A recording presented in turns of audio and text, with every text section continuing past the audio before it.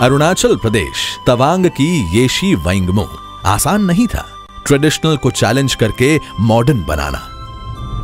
आसान नहीं था। जहाँ सड़कें ना पहुँचती हों वहाँ पैदल पैदल पहुँचना। घर घर जाकर समझाते थे कि हमारे जो लोकल टॉयलेट्स है वो अनहाइजीनिक है। वो ओपन डेफिकेशन का ही बराबर ही है। फिर क्या? जब समझ आई तो लोग भी साथ आए। और तवांग में ट्रेडिशनल की जगह नए टॉयलेट्स ने ली। सत्याग्रह की तरह ही।